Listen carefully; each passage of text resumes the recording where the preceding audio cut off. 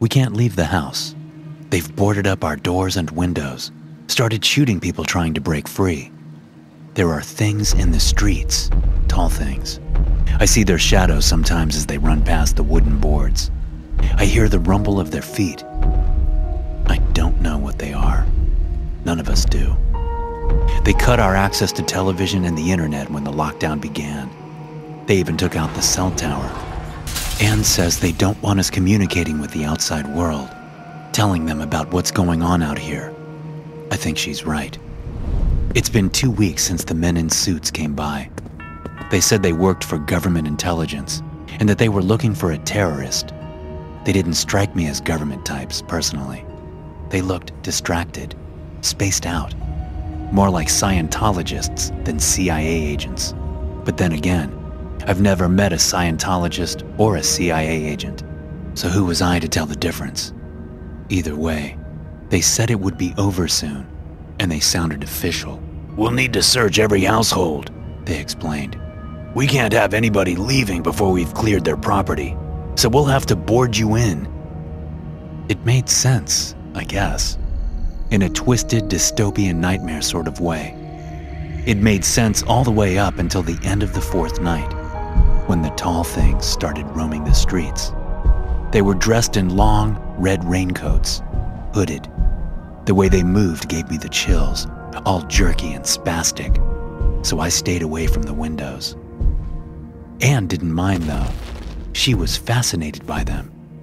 Her and our gun nut veteran of a neighbor, Old Ty, exchanged theories written on pieces of cardboard, holding them up to the glass of the windows. Government experiment, she wrote on hers. Alien invasion, he wrote on his. At first, it seemed to just be a bit of innocent, morbid fun, finding some humor in a bizarre situation. Then Anne watched one of the tall things kill somebody, and everything changed. It was an elderly man in our cul-de-sac, Mr. Douglas. Anne watched him open his door and hammer down the boards as one of the tall things walked by. He shouted at it, told it to get over here, so he could see just what kind of unholy bullshit his tax dollars were being used to fund. Next thing you know, there's sirens in the streets, soldiers rushing his home. There's a megaphone shouting at him to get back inside. All of it is useless. All of it happens far too late. Because the moment Douglas starts yelling at the tall thing, it starts to twitch and jerk like it can't control its own behavior, like a predator hungry for a meal. It snaps its head toward Douglas, then tears across his lawn and snaps him up in its long, spider like hands. It lifts him off the ground. Then he screams. He screams and he screams until the tall thing lowers the hood of its rain jacket, and then Douglas goes pale as a ghost silent. According to Anne, that's when the skin of his face started to bubble and pop. That's when he started hissing out steam, smoking as his flesh sizzled beneath his clothes, as if he were boiling alive from the inside out. Next thing you know, he's dripping onto the pavement, dripping and dripping until there's nothing left of him but a puddle of flesh and clothes. Nobody tries to step in.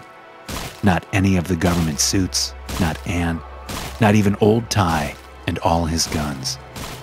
Everybody watches in stunned silence as the tall thing finishes its execution and saunters away. Soldiers roam with them, soldiers and people in long white clothes. Anne says they're lab coats, and the people are researchers studying the tall things as experiments. But I think they look more like robes like clergymen. All of them wear helmets with tinted visors. It's as though they don't want to get a good look at the things. After Mr. Douglas, more people on the block decided to make a break for it. Maybe they realized this was worse than they thought. Maybe they started wondering what the point of keeping us locked away like this was. Were we food for these creatures? Were they trying to turn us into them? None of us knew. All we could say for certain is the killing didn't stop with Mr. Douglas. I woke up one morning to see several of my neighbors shot dead in their yards, their lifeless eyes gazing back at me from the grass. Nobody came to pick them up. They were left there to rot, picked apart by birds and stray dogs. Soon, gunshots were ringing out at all hours of the day. People wanted out, but the soldiers wouldn't let them leave, and so the bodies began to pile up. Eventually, I think Anne and I were the only two left alive in our cul-de-sac. Even old Ty had seemed to vanish, probably shot dead in his backyard. It was awful. I'd rarely known death in my life, and the sheer volume of it now seemed to numb me. I couldn't process it. I didn't know how. But then, almost out of the blue, the government had a change of heart. Or maybe they just shifted tactics. Suddenly, they began letting people leave. I saw it first with a house at the very end of the road. I watched the woman who lived there break out with a baby tucked in her arm and a grade schooler holding her hand. The three of them darted across their lawn, jumped over their father's corpse, and piled into their minivan on the street. The entire time, a soldier and white coat stood only meters away, quietly observing. It didn't take long for the rumbling to begin. That telltale sound of approaching death, of one of the tall things coming to claim its prize. The van started up, backfiring a plume of exhaust into the air. I listened as the woman shrieked for joy, but I knew the joy would be short lived. See, from my vantage point at the end of the lane, I saw something that she never could. The boot locked around her rear tire. The van rode forward as she pressed the gas and then clunked to a stop. My heart broke. The look on her face, the desperation wasn't for her. It was for her children in the back. The rumble reached a crescendo, and in the blink of an eye, a tall thing crashed into the van and knocked it over like a die-cast toy. I couldn't make out much beyond that. Nothing but the sound of the monster tearing into the roof of the van and pulling the crying children out one by one, while their mother begged for mercy. If I were a better, stupider man, I may have kicked down my door and tried to save them, but I wasn't. I was a coward. Instead, I fell to my living room carpet and cried. I laid there and listened as their flesh popped and sizzled, as their skin fell to the pavement in long, heavy drips. It's a sound I'll never forget. The next day, things got worse. The soldiers no longer cared about enforcing the lockdown or even keeping people safely indoors. Now they were breaking them out. Like hungry wolves, they tore down boarded up doors and kicked in living room windows, then dragged families out onto their lawns and held them there for slaughter. If the screams were horrible before, now they were unbearable. You couldn't ignore them. Anne and I cranked our sound system to the max, but it only served as background static. The dying cut through everything. That night, we barely slept. Anne tossed and turned beside me, while I stared blankly at the ceiling fan rotating in lazy circles. There was an understanding between us. We had been abandoned. There was nobody coming to help us. Nobody coming to arrest these monsters and save the day. We were alone. How long until her and I were dragged out of our home? How long until we became the next experiment, chained to our fence, waiting to be attacked by one of those creatures? Maybe tomorrow. Maybe next week. Neither of us knew. And somehow, that made it all the worse. I woke up to the sunlight peeking through our boarded up bedroom window. Anne was missing. I looked all over the house for her before I found her note on the kitchen counter, scribbled quickly. I know you're afraid, the note read but I have to leave. You might think we'll make it through this, that once they've had their fill of guinea pigs, they'll let the rest of us go free. But I promise you they'll come for us soon. This might be my last chance. Since you won't come with me, I'm going alone. I wish I could have said a proper goodbye, but I know you'd try to stop me. Love always, Annie Bear. She left through the basement hatch. I know this because I spotted her corpse some five feet away through our kitchen window. She gazed back at me, a look of shock painted across her pale face, except for the small red dot where the bullet pierced her skull. I couldn't even muster the courage to step out and bury her. Instead, the raccoons and dogs took care of her, one piece at a time. She was right, though. Eventually, they did come for me. It was over a week later. By then, I didn't have the will to resist. I waited patiently at the kitchen table, drunk with a glass of whiskey, as soldiers in whitecoats dragged me from the house. When I'd seen it happen to other people, it seemed to occur so quickly. Now, it happened in slow motion. I heard every word from the soldier's mouth, every command. First, he patted me down and ensured I was disarmed. Then he told me this was all routine and nothing to worry about. Together, they took me out to my yard. The white coat asked me if I had lived a good life, if I had been a man of faith. I didn't know what to say. Maybe I was simply too drunk, or maybe I truly didn't care anymore. It's not as bad as it looks, the white coat assured me. You'll be at peace once it's over, brother. In the distance came the growing rumble of the monster's feet, of the tall thing coming to claim its bounty. How many more after this? The soldier asked, the white coat, his hand painfully gripping my shoulder. Sixteen.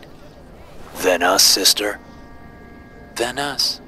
The rumbling deepened. The tall thing was getting closer, and soon my heart was beating in sync with its stampeding footfalls. Memories flashed in my mind.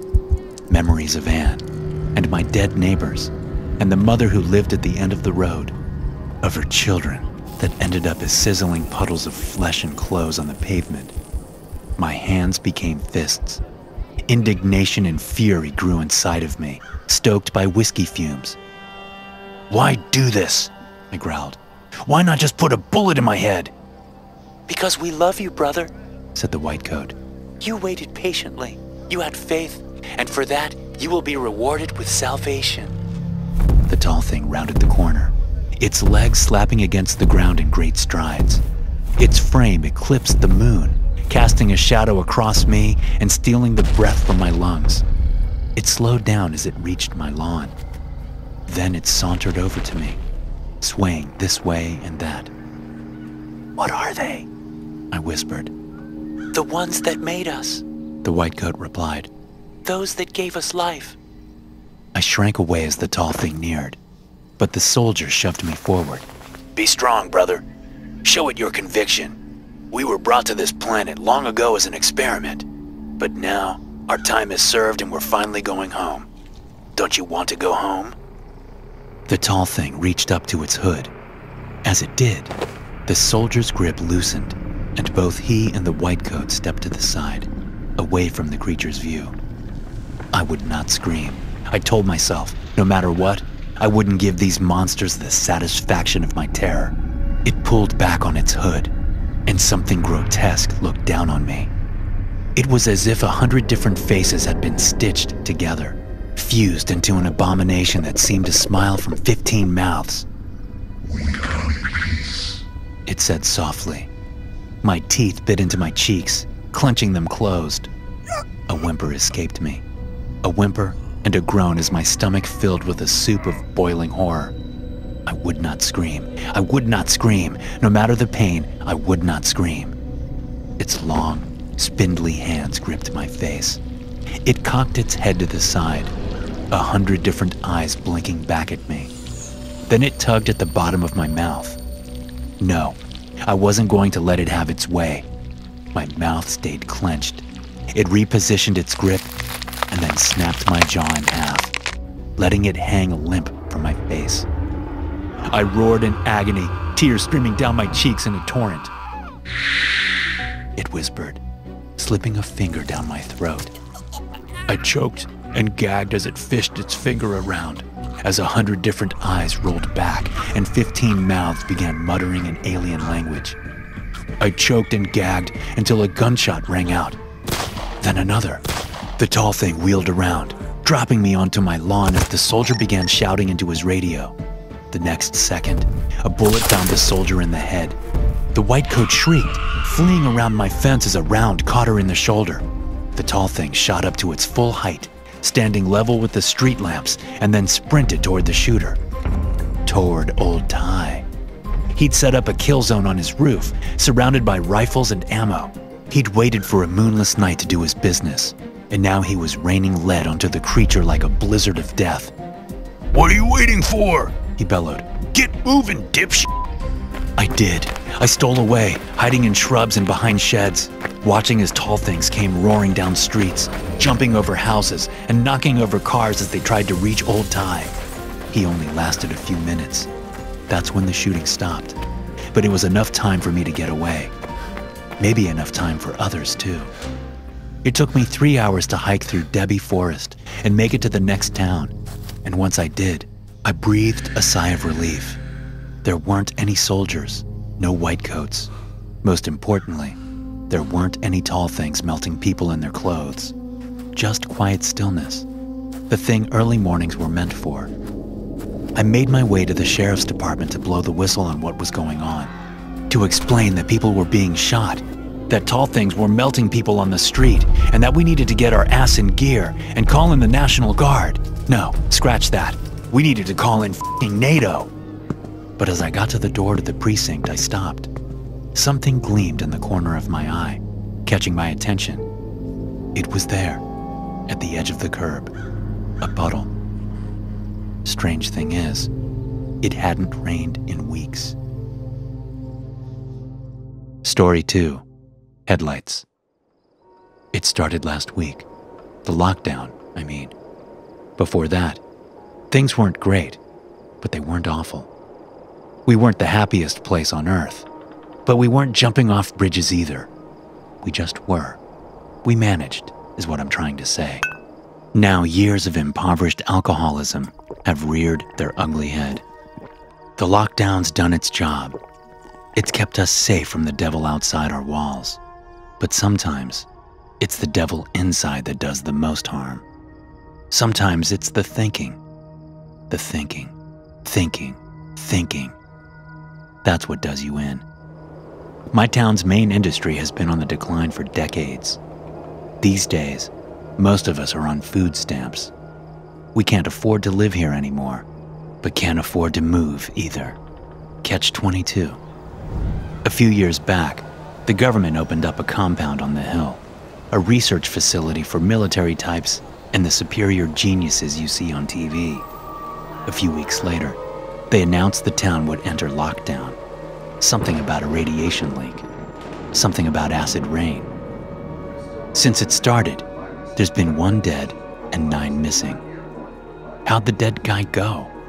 If you're wondering, it wasn't radiation, it was self loathing.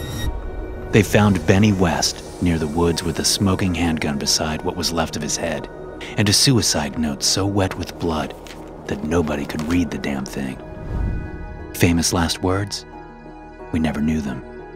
But then, I don't think any of us really needed to. You could still smell the booze on Benny's breath, could still see decades of struggle etched into every line of his face. As for the missing, they're a tougher puzzle. Nobody's found them. Nobody's had any contact with them whatsoever. Not a text, not a call, not even a dusty email. It's odd, but maybe they just had enough. Couldn't take this place anymore and finally decided the lockdown was the worst of it. What's the phrase? The last straw. Yeah, that's what the lockdown was for them. The last straw. Since it all started, I've been going stir crazy. Being cooped up inside with nothing to do but drink and watch TV will do that to a man. I think that's why I did it, you know? Took a midnight stroll. Loneliness is a strange beast, and it doesn't pick and choose its time of day. But if I had to place it, I'd say it always gets worse at night. There's something about the dark that suffocates, makes you feel vulnerable, singled out. So I went to her cabin, my old high school sweetheart, Vanny Williams, the only girl I've ever met that could shoot a target with her eyes closed and still hit a bullseye. The girl I called the love of my life, who left me after nine years because I couldn't wake up in the morning without a shot of whiskey. That night, I needed her. Maybe I wanted to make amends, Or maybe I just wanted somebody familiar. Somebody warm who I could feel a sense of connection with. I don't know. All I really knew is I couldn't last another night alone in my cabin. Not with the whiskey, not with the 45. So I set off. The government was taking the lockdown seriously. One of my neighbors, Roger Huckbright, got a lashing from the sheriff for trying to break into the boarded up liquor store after dark. They knocked out three of his teeth and told him next time they'd break his legs. I had a thing for my legs. I liked walking, liked kicking a ball, and most of all, I liked hitting the gas pedal of my truck. I didn't want broken legs, so I stayed off the main roads and stuck to the logging roads. Hell, I didn't even drive. Too conspicuous, I figured. I walked. To the right of me was the hillside, all brush and boulders with a military facility up top. And to my left was the valley, Charmouth Forest. On the other side of those trees was Vanny Williams. But walking straight through them was a death trap. See, that night it wasn't just dark, it was snowing. And where there was snow, there was ice. And I didn't want to risk a sprained ankle going down that valley slope.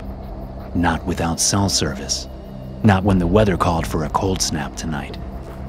So I kept to the side of the road with my eyes and ears on. And as I walked, something caught my attention. It was above me, all the way up on the top of the hill, nestled near the military facility. Headlights. There wasn't a doubt in my mind that those lights belonged to the sheriff, holed up there in his SUV and looking for cars on the roads. Too bad for him that I was smarter than that.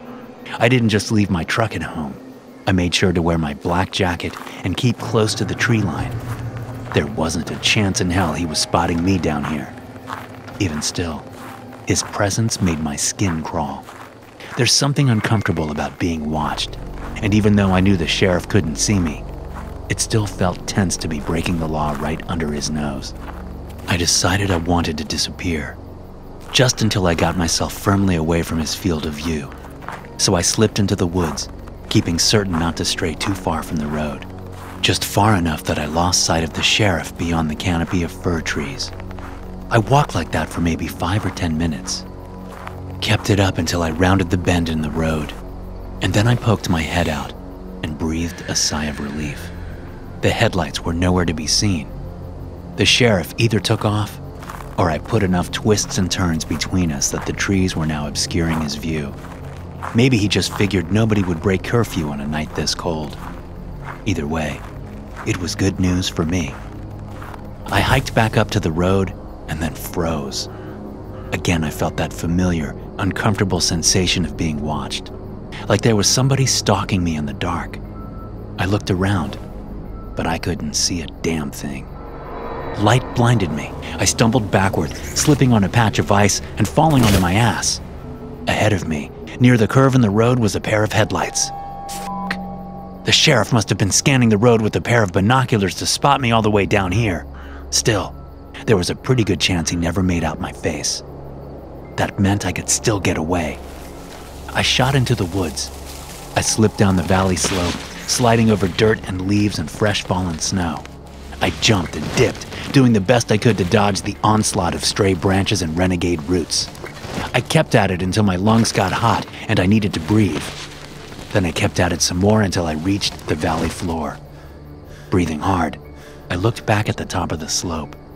If I thought it was dark up on the road, then down here, it was practically pitch black. I couldn't even see the ground directly in front of me. But despite it all, I knew one thing for certain there weren't any headlights. I took a moment to lean up against a tree catch my breath, get my bearings. I had to figure out which direction Vanny's house was in. Was it to the north, northeast? The cold nipped at my ears, bit at my nose. It was worse down here. The sheriff really made a mess of things. I glanced up again, up to where I knew the road was, even if I couldn't see it. There wasn't so much as the background glow of headlights. That meant the canopy of trees must be thick, thick enough that even an SUV's LED lights weren't going to worm their way inside or out. My hands found my phone in my pocket. No service. But that wasn't what I needed it for right now. Instead, I flicked its flashlight on. Good. That was better. Shivering, I used the dim glow of my phone to navigate as best I could, spotting familiar landmarks that I remembered from playing in the valley as a kid, and using those to plot my course to Vanny's. A big boulder here, a broken tree there. It was all coming back to me. I was going to make it out of here with all my fingers and toes intact, sheriff be damned. I took a moment to laugh at my situation. Now, it seemed absurd. I'd just run into the dark woods, evading police, all so I could spend a few hours with Vanny. She was either going to love that or hate it. I couldn't decide which. Something snapped behind me. A tree branch, maybe? Something big. I paused, wheeling around, casting my light as far as it could go. I couldn't see anything but the shadow of tree trunks and fresh fallen snow. I knew for a fact that there were bears in those woods, but surely they'd be hibernating by this time of year. Hello? I whispered. I didn't think the sheriff had the dexterity to chase me down here on foot, but it was possible he sent his partner after me. Deputy Marigold? No reply. Come to think of it, I couldn't hear any sound at all. Not the pitter patter of squirrels hoarding winter food, or even the flap of birds flying through the trees. The forest was still, silent. Then something else snapped. This time, there was no mistaking how big it was. It rang out like a gunshot, and I scrambled, running blindly backwards as my ears filled with the sound of rushing branches, ricocheting off timber as a tree plummeted toward the earth. The crash found me before I could fully clear the way. A fir branch whipped across the back of my jacket, smashing me to the ground and taking the breath out of my lungs. I wheezed, gasped for breath. I rose onto my hands and knees, trembling with adrenaline. I nearly got flattened just then, and I couldn't even tell where the tree had fallen from or what caused it. I stumbled forward. No time to think about that right now. Not when I was so close to Vanny's. Just a little further, and I'd be out of these woods and in front of a warm stove, making those gyoza things she loved so much. It only took a couple minutes for me to calm down. The act of almost dying is enough to throw anybody into a panic. But I'd been around the woods enough to know that they were unpredictable. Nature just did as nature did. There wasn't any stopping it. Sometimes trees fell. Sometimes, if you were unlucky, they fell right on top of you. I carried on for another few minutes when the feeling came back. The feeling from up on the road. The one where I couldn't shake the sensation of being watched.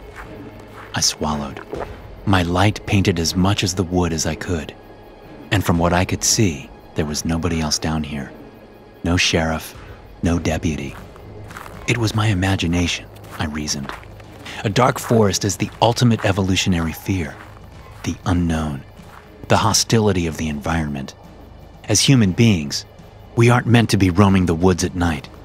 But I wasn't some caveman hunter gatherer. I was smarter than that. Besides, I could see the other slope now. I could see dim moonlight peeking through the trees, and that meant I was right below Vanny's house. A low groan filled the night. I raised my light, doing my best to peer into the wall of trees, but I couldn't make out a damn thing. Hello? I called. Is somebody out there? An awful feeling was growing in my gut, an instinct. No longer did I feel like I was being watched. I felt like I was being hunted. Time to get a move on. I shook my head, muttered a f this, and took off toward Vanny's house at a sprint. Snow crunched beneath my boots, and my breaths came out in a great white fog. If there was some psychopath in the trees, then I wasn't about to make any of this easy on them. They would have to work for their sick kicks. A screech pierced the forest. In the far distance, I heard the beat of wings, of birds fleeing en masse. Then came the sound of footsteps. They were soft, barely crunching in the blanket of snow, but unmistakable, heavy, deliberate, closing in. I wheeled around and ran up the slope, only to slip on a patch of fresh ice and smash my jaw against the ground. Pain flared across my face.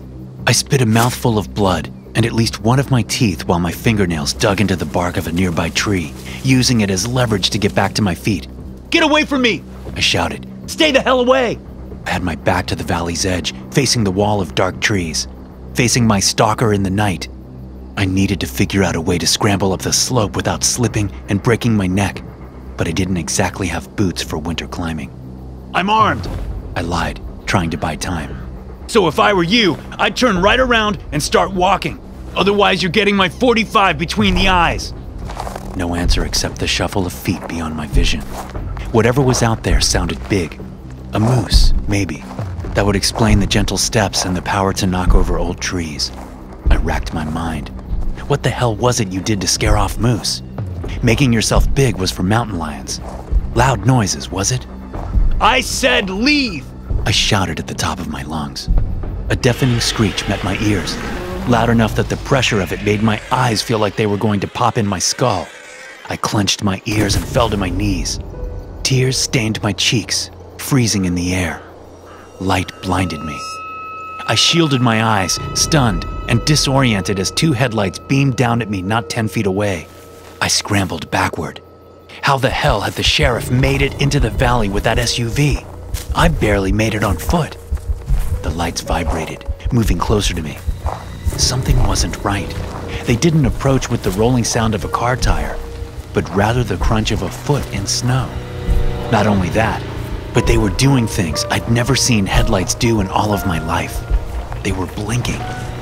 Something reached out, a long, twisted, and gnarled arm that looked like it ought to have belonged to a tree grabbed me by my torso, snapping my ribs like twigs.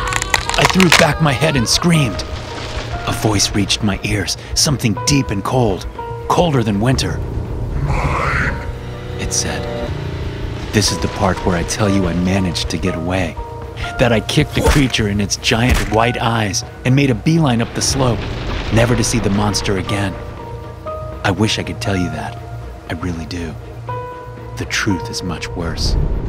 Vanny Williams saved my life that night, one last time. This time she didn't fish a handgun out of my mouth or spill my whiskey off of the balcony. She saved it in a shower of bullets up there on the valley ridge. She saved it doing what she did best shooting, hunting. My guess is she heard my screams and came running, looking to help. She probably didn't even know it was me. Vanny was just that kind of woman kind hearted, warm. I don't know if she knew what that thing was either, but she caught it in the face with at least six separate shots, six bullets to its head, and it still climbed the slope of the valley like an anthill. Six bullets to the head, and it still took her screaming into the trees to God knows where. Now she's another statistic, one of the missing. The sheriff's calling me crazy for what I saw, telling everybody that I'm a drunk, and Fanny just had enough and skipped town like the rest. I know what I saw, though. I know there's a monster roaming these hills, and I know the sheriff and that military base have something to do with it. I know it stole the only woman I ever loved, and I know damn well I'll never rest until I get her back. So I think that's why I'm doing it, going on a little stroll into the woods. Story 3 The Dead World. It happened late. I suppose these things always do. The end of the world isn't exactly a rise and shine operation, you know? It's a big decision nuclear war. You think you're ready to drop the bombs, but then you figure it's probably best to sleep on it. Then you wake up and think maybe, just maybe, we'll first see how the day plays out. Maybe somebody convinces you not to press the button. Maybe the world gives you a reason it shouldn't go up in smoke like the stock market, like the riots in the streets, like the futures of an entire generation. Or maybe there are no reasons. Maybe starting fresh is all that's left. Maybe cleaning humanity off of this rock is the only truly moral choice left to make. I don't know. All I know is it's been a week since the blast. A week since I ran to the bunker, alone, forced to leave my family behind. If that sounds callous, then just know it wasn't me who abandoned them. They were disbelievers, all of them. They called me crazy for building the bunker, called me insane for stockpiling canned rations 10 feet under the dirt. I tried to explain to them that we were running out of time, that if they cared enough to open their eyes, there were signs that the end was coming. But to them, that was just noise. More chatter from a lunatic. They stuck their noses up at me all the way to the end. When the air raid siren sounded, my wife grabbed my son and daughter and screamed at me to leave the house, to never come back. So I did. I left them there. There simply wasn't any time to fight her for the kids, to fight the kids who were wholesale convinced I was a fraud, a liar. The bombs were coming, and the bunker was a hundred feet away, buried beneath the forest behind our farm. I didn't have a choice, you understand? No choice but to run. So that's just what I did. I ran and ran, with tears in my eyes for my family. And just as I closed the heavy steel door of the bunker, I felt the low rumble of the first explosion, then the next. Like I said, it's been a week. I figure the worst of the fallout has dissipated by now. It'll be just the fires that are left. The fires that there's nobody left to put out. Soon, though, once the flames have exhausted their supply of wooden homes and fuel laden vehicles, they'll die too. And then the new world will emerge the dead world. The dark truth is that the nightmare of nuclear Armageddon takes place in three stages. The first is what people often assume to be the worst the bombs, the explosions, the mushroom clouds, and the screaming and the running and the sirens. Truthfully, though, that's the easy part. At that stage, you're just afraid or dead. That's all. After that comes the flames and radiation. They do some damage, maybe more than the bombs when you consider the pain inflicted. But even they pale in comparison to the third stage the dead world. In the dead world, the strings that tie us together are burned away. There are no rules, there are no customs, there is no humanity. It's chaos, unbridled, and hopeless. Raiders roam smoldering city streets, pillaging and raping and torturing for scraps of food. People are rounded up like cattle, butchered and eaten. That, I think, is the stage we're beginning to enter the stage of desperation. Even now, I hear a band of raiders above me. I've made certain my bunker is well hidden, but it's possible that the blasts have swept away the dirt camouflaging my hatch. It's possible I could be found. In moments like these, I'm almost glad my family perished in the blast. I shudder to think what the monsters above would do to them, to my wife and my daughter. Still, I've covered my bases. The raiders likely arrived to see if there were any animals left alive on the farm, or crops left to reap. They wouldn't be here looking for underground bunkers. Bang, bang, bang! The sound echoes around my bunker like a heart attack. I freeze. Through inches of steel, I hear the muffled chorus of humans shouting, moving. Bang, bang, bang! There's more shouting. I slink to the wall of my bunker, pick up my rifle, and load a round into the chamber. I'm panicking for no reason, I tell myself. I'm making much ado about nothing. Even with a band of raiders, there's simply no way they could break the reinforced steel hatch, not even with a pair of bolt cutters. There's the sound of something clanking. It sounds like metal on metal. Did they attach something to the hatch? Above, an engine roars to life. Something powerful. A truck, maybe. It screams as its wheels tear into the dirt above, and my pulse races. My hands grip my rifle, raising it toward the hatch, toward the intruders. It shudders. The hatch shudders like it's going to bend, warp, but instead it snaps clean off. I'm blinded by the afternoon sun. I shield my eyes as best I can, but there's no shielding my lungs from the fallout in the air. I'm armed! I scream, hacking a cough. I'll blow the heads off any of you that wants to try me. There's a beat of silence. Mr. Fulton, A voice blares over a megaphone. you're under arrest. Come out with your hands up. You think you're going to fool me with that spew? I snarl. I cock the rifle and let off a warning shot through the open hatch. Birds scatter from the trees above. Come any closer and the next bullet's going straight through your head. Something drops from the top of the hatch. It's small, oval shaped, and it bounces on the steel floor once, twice, before rolling to a stop. It's a metal canister. Smoke hisses out of it.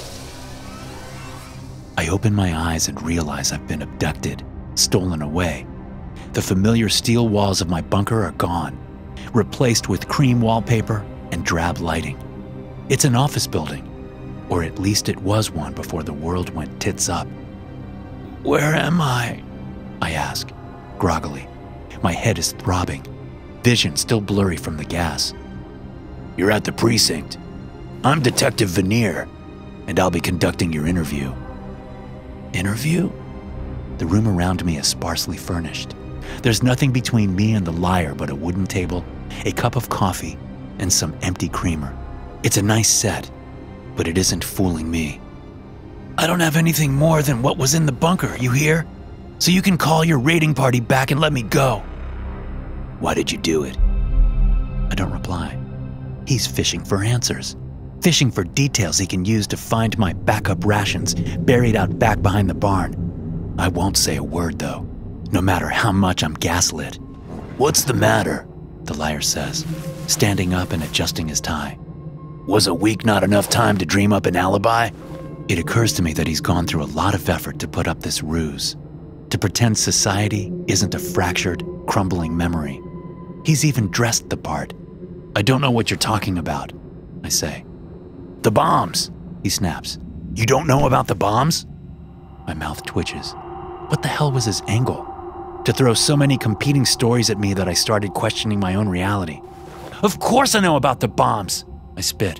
I've known about the bombs for a long time. Anybody could have seen this coming. His fist hits the table. There's anger in his eyes, rage like I've never seen before. His facade is slipping. How long? Long enough to build a bunker and survive the blast. And your family? My voice dies in my throat. How? I say hoarsely. What the hell gives you the right to talk about my family? Where are they? He's looking for a reaction. He's trying his best to get me emotional, to get me to let down my guard long enough to spill my secrets and tell him about the cash behind the barn. They're dead, I tell him. They died in the blast. The liar, masquerading as a detective, leans over the prop table. He taps his finger on the surface. What blast? He says. My jaw clenches. My hands ball into fists. I want to leap across the table and slug the motherfucker for invoking my loved ones, for cursing me with the pain of their memory. But then he wins. Then he knows he can get me talking with the proper stimulation. I'm not talking, I tell him. No, he says. What blast? I don't know, I snap. I wasn't standing around to count how many bombs fell, to point out which one killed my family. But you are standing around when we opened your bunker, weren't you? You saw the trees, the birds. How many nukes hit your farm, do you think? Must be pretty sturdy bird nests. I open my mouth to speak, but the words aren't there. The liar doesn't seem to mind. In fact, it seems he realizes he's found my weak point. He knows I'm breakable now. He walks around the table, sizes me up, then stalks over to the blinds covering the windows. He gives them a tug. More sunlight. It's blinding again. I hear the sound of a window sliding open, and suddenly my ears are assaulted with lies. A symphony of deception. Cars honking, people yelling in the street, music. Then the world comes into focus, and I see just how deep this act goes. They've set up a projector on the wall. It's a film reel from the old world with its tall buildings, its people walking to and from work, and its cars spitting methane into the air. It took me a week to find your bunker, the liar says, coming back around to his chair. He slips a laptop from a bag beneath the table. I had to comb through your online activity, match up receipts, call the company that installed your tin can. It took some work, but we figured out where you were hiding eventually. I don't speak. Their operation is more sophisticated than I expected. Much more. Let me tell you what happened, Mr. Fulton, the raider says. You fell down a rabbit hole of online conspiracy. You convinced yourself the world was ending, that there were psychic vampires living among us, infecting our every level of society. You convinced yourself that the only way to stop them was to start from scratch, and that our world leaders knew this and planned a global nuclear strike for New Year's Day 2022. My body is shaking. As much as I try to pretend his lies aren't affecting me, they are. It's poison to my ears. You're one of them, aren't you? Bitter too, I bet. There won't be enough food for you psychic vampires to sustain yourselves on, now that humanity is halfway to extinction. The liar gives me a hard look, then opens his laptop. He clicks around some, types a bit on the keyboard, then turns the screen around to face me. It's a picture of my house. It's blown to pieces. There's barely anything left but wooden splinters and smoldering ashes from the blast. See this? He taps something in the bottom corner of the image. It's a mess of colors, of pixels. It's red, pinkish, and scattered in several pieces. That's your daughter, he says. My jaw drops. A sinking feeling grows in the pit of my stomach, unshakable and awful. Still, I knew there would be horror in the aftermath of nuclear war. I knew. I also knew it would be a necessary price to pay. He taps another section of the screen. The picture zooms in. Over here, we think this might be a piece of your wife's skull, though it could also be your son's. Their corpses are in so many pieces, it's hard to say which hawk of flesh belongs to who. You're sick, I say. I don't want to see this. Put it away. Wait, he tells me. You haven't seen the best part. More tapping, more zooming in. This time the pixels are dark. There's something 30 feet away from the rubble of the house, something gray and familiar. Stop, I tell him, looking away. What's the matter? You set that speaker up, didn't you? Put it right there in the yard? I don't want to be here. This isn't real. It's a lie. All of this is a lie. A sophisticated psyop designed to trick me into emotional vulnerability, staged by psychic vampires to feed off of my pain. Yes, that much is clear to me now. This is too sophisticated for the average raider. Since reality seems to confuse you, Mr. Fulton, let me tell you what happened. The vampire leans back, a smug smirk on his weasel face. You rigged your own house with enough explosive to sink a battleship. Bombs planted everywhere from under the couch to inside the walls. You set it to blow the day the nukes were supposed to fly. Why? That's simple. You didn't want anybody finding any hints about where your bunker was, just in case the ICBMs missed your rural slice of butt nowhere. You didn't want your family above ground, freely able to give away your location to psychic vampires. This is textbook emotional manipulation, a specialty of his breed. I won't let him gaslight me, though. I won't let him feed off of me. He reaches into his bag and pulls out an old book, my journal. Pick this up in your bunker, Fulton. He flips through the pages. Reading through it, you'd almost think you gave a damn about your family. After all, the sirens were for them, weren't they? You set them up to play, hoping it'd convince them at long last that nuclear war was well and truly underway. You hoped it'd convince them to follow you into the bunker, to bury them underground so their thoughts were safe from attack from, uh, psychic vampires. Yeah, things like you, I spit. You gave them one last test of faith, one last chance to follow you into your rabbit hole of madness, and they refused. For that, you killed them. F you, I say, my voice quivering. You're nothing but a lying sack of psychic shit. You think I can't feel you probing my thoughts, gaslighting me? I wish I was lying, Mr. Fulton. I really do. The vampire sighs, packs up his laptop, and rises from the table. I feel bad for you, truthfully. Sooner or later, you're going to realize you were wrong. I don't know if it's going to happen when I leave this room or when you get to prison, but it will happen. And when it does, it's going to break you. He heads for the door, grabs the handle, and then stops. For what it's worth, I looked into those conspiracies of yours. Some were pretty convincing. They laid it out in easy to understand terms, made sensible links between the vampires, the pyramids, and the moon landing. He chuckles to himself. I guess the only problem I had was that at the end of the day, none of their shit stood up to reality. It only made sense in a vacuum as soon as you looked outside the conspiracy community, as soon as you realized how many little lies you needed to be fed to make the big lies seem palatable. Well, that's when the whole facade broke for me. He grips the doorframe, shakes his head, and laughs. It's more exciting than reality, though, I'll give you that. He exits the room, leaving me alone in his elaborate set. I take a moment to admire the detail in the projector screen, the crispness of the sound system, and the smell of fresh coffee. It's impressive. He went to great lengths to pull the wool over my eyes, but unfortunately for him, I'm not a sheep. I know the nukes fell. I know we beat back the psychic vampires, and I know human civilization is in ashes. I also know it's for the best.